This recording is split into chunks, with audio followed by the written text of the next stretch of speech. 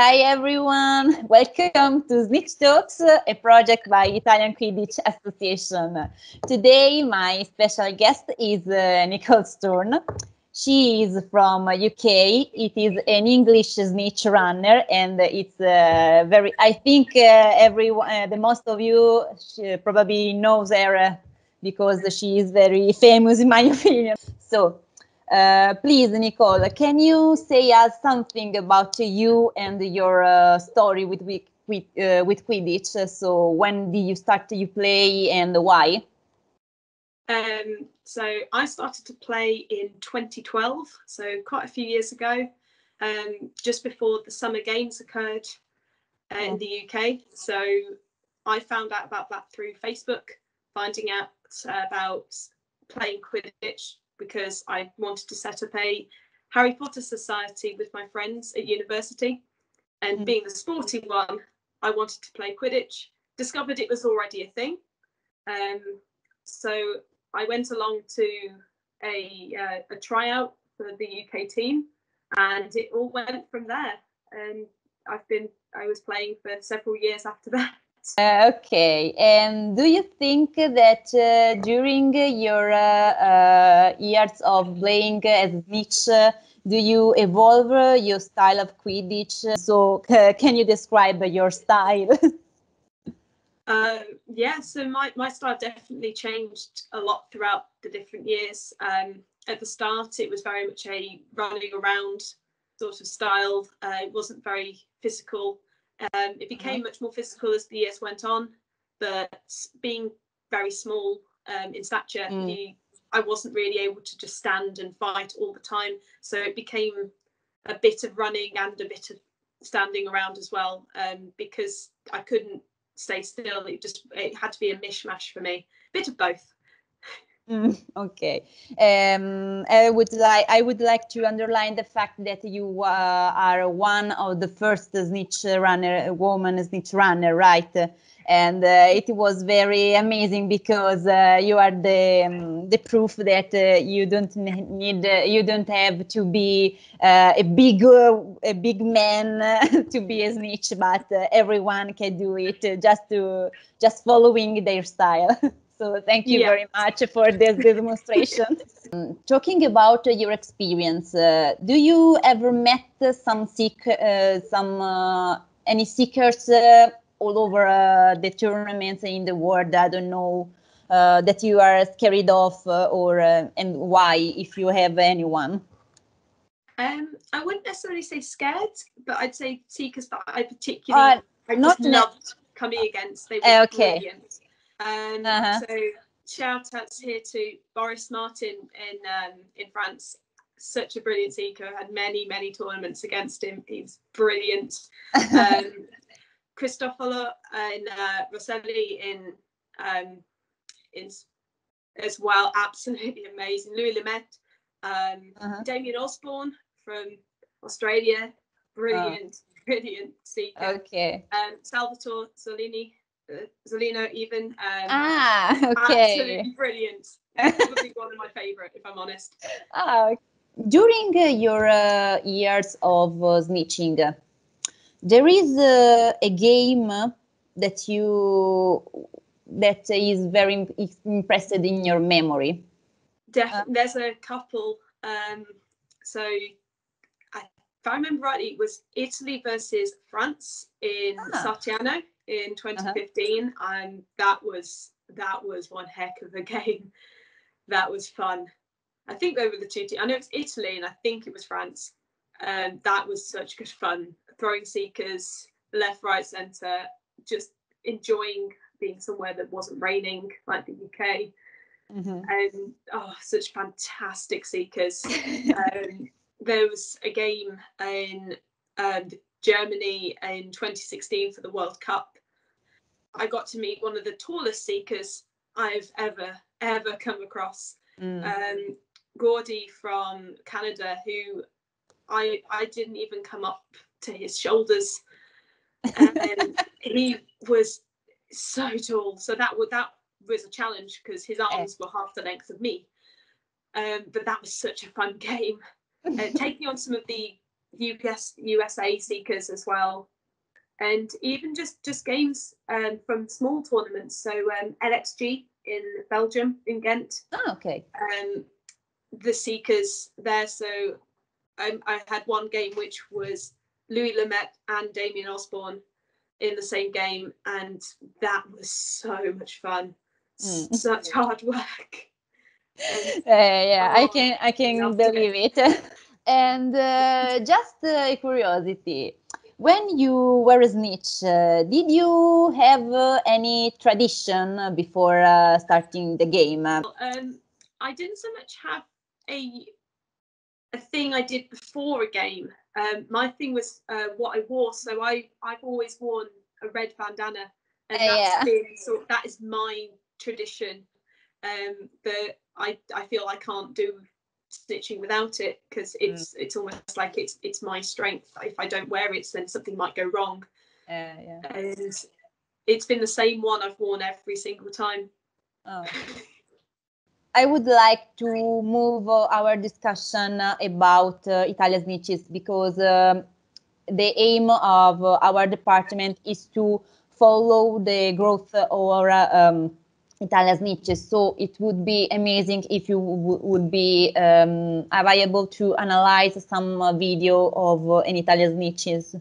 It's okay More for you? Happy to. Yeah, okay. sure. Okay, so um, I'm going to show you two video uh, about mm -hmm. one of uh, Italia Snitches.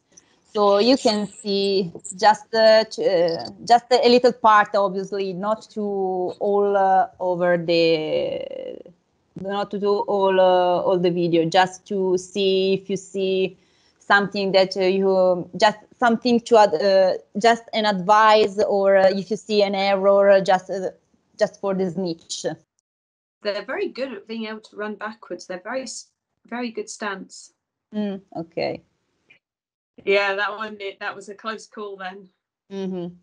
Well, I I, I can I can say that uh, in this uh, match uh, the beaters uh, make uh, made a great work because uh, the seekers weren't never alone. So there are there there um, there were very short period of time in which the seekers and the snitch were alone.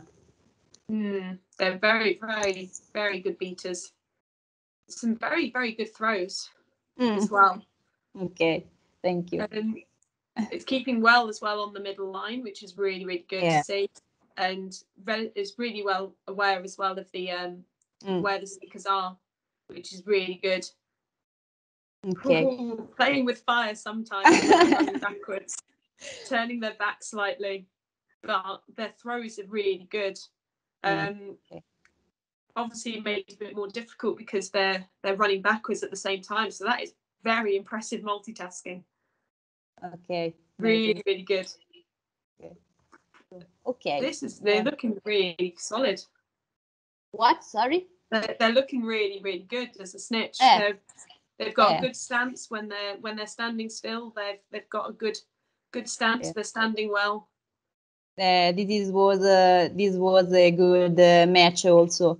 So yeah. it, um, we assist. Oh, I, I yeah I assisted to the match uh, in uh, live. so I can feel uh, the the stress for the teams. okay, so let's start again. So. So when uh, you uh, when the snitch had to approach uh, direct the seekers, it can control the the seekers uh, anyway. So I yeah, they've think, got really uh, good control. Do you do, do, do you have any advice for uh, this moment because the seekers was uh, very good because he wait for the moment uh, um, move the arms over the, the snitch and then enter and catch. Yeah. So I think so because the seeker had the snitch had their arms um, on the top of the shoulders, they weren't able to bring them down in time to be able mm. to cover that side of themselves. Um, the only way be difficult to do because of the way they were moving. Um, something I had to do being so small that I had to then be able to run with having my bum stuck out a bit. So bent forward and sticking out slightly just to add another centimetre or inch might be a bit more challenging here in because running backwards at the same time. But And the only option, I suppose, would be rather than just having your arms there, you can feel the movement in the arms starting um, from the shoulders where your hand is.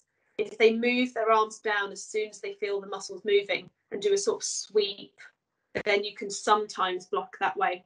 But it's it's that was that really was a fantastic catch. Mm, okay, um, I agree with you. so um, this uh, is uh, another match of the same tournament with the same uh, uh the same snitch. So okay, oh. there the snitch uh, snitch cam. Ah, mm -hmm. it's me. the seeker is me.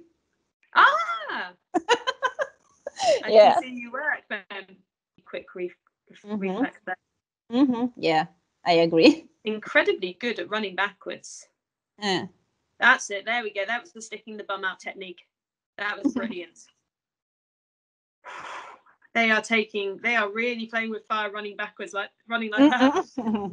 yeah, exactly. Um, it's a good um, thing they are very fast, very very fast. Mm-hmm, yeah, I just move Okay, this that was the catch. Yeah. I'll show you again. I thought Just... that might be. Ah, yes. So when throwing as a snitch, mm. always be aware of where the, the seeker, just because they're on the ground, does not mean that they're out. Yeah. So, um, yeah, that was a case of make sure if you're going to throw them, turn your body with them so mm-hmm. that your bum is not facing them, just so they don't have that little sneaky opportunity to grab you. yeah, you're not looking. yeah, very, it's very sneaky catch. Yeah, yeah. Well, well, for the yeah, but the seekers, I think, uh, in general, wait for the moment uh, to attach because to attack because uh, the snitch. Uh, I see that the snitch were always uh, on the game, so pay uh, much uh, attention on the game of the seekers and uh, on the game in general. So the seeker is just a game of waiting and attack and waiting, attack, and we uh, have to analyze the movement of the snitch in general. And um, do you, before to conclude the interview, just uh, if I am alone uh, at home, do you have any suggestion to be um, for a training by myself? to improve the the quality of snitching in general? Um, being on your own, obviously, as a snitch is a bit more challenging, but um, there are certain things you can do. So practicing having a good um, a good stance, so solid legs. So if anyone was then to push you, you wouldn't be able to be pushed mm-hmm. over. So legs bent slightly forward, um, bum sticking out slightly, just a good balance technique um, and then practicing being in that stance but lightly moving your feet moving uh-huh. backwards forwards side to side because it it's like a don uh, it's like dance. Yeah it is like a weird dance in a way yeah. Only usually it's a dance where you've got two people attacking you at the same time. Dancing would be useful. I never think about it. Okay. That that would work a little bit especially in obviously we can't practice with a seeker attacking mm. you but there is nothing to stop you practicing the movements of mm. um, pretending even that okay so the, there's a sock hanging up on the washing line i'm going to dance around it pretending that it's um, something i want to push away and that could be something to work on um, there's not a huge amount really as a snitch that you can do on your own because obviously you need to practice with someone coming at you yeah. really from one way or another but um, keeping keep the movements going mm. keep the arm muscles moving um, would work even doing sort of almost like press ups almost against pushing yourself off the wall almost and bouncing back up just to keep the arm movements going because it's these the muscles you're going to be using to push mm. but it's it's obviously a bit more difficult nowadays. Uh, yeah. Well, I agree that if you have someone that you that is available to training with you, it's easier. But uh, nowadays, yes. uh, it's very very hard. And uh, my advice is uh, stay home and training by yourself. Uh, uh, yeah. I agree that is a, an emergency uh, moment for uh, everyone all over the world, but uh, we have to make a sacrifice and uh, stay strong together and wait. Nowadays, unfortunately, we have just to wait. Wait so, out to, to yeah. through this, and then we can all meet back on the pitch. Yeah, yeah. Why not? okay, uh, Nicole thank you very much for your time and for this amazing interview. And uh, do you have uh, any special regard to people that is watching us? Um, just that if you want to have a go at snitching, have a go because you won't know if you're any good at it until you give it a go. Uh. Just because you are shorter like me, or you are really tall, or if you are bigger in build, it doesn't matter. Every single person can be a snitch runner. You just play to your own strengths. Give it a go. Thank you. Oh, my God. Thank you. No, it's been my pleasure. Thank you for letting me do this. Uh, it was a pleasure. So, Nicole, thank you again, and uh, I hope to see you again Definitely. soon. and uh, everybody, uh, thank you to spend your time with us too. And uh, I hope that uh, Snitch Talks will give you an extra motivation during this uh, quiet moment. And uh, from Alessia and Nicole, and Nicole goodbye and uh, see you on the next episode of Snitch Talks uh, with a new special guest. Thank you again to everyone and bye.